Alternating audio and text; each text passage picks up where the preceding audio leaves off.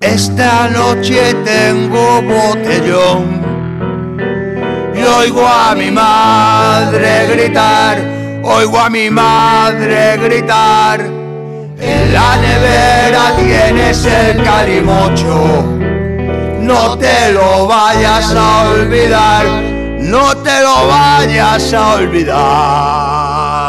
Y nadie prepara el calimocho como lo hace como lo hace mi mamá. Ninguno tiene ese sabor que tiene el calimocho de mamá, el calimocho de mamá. Queremos.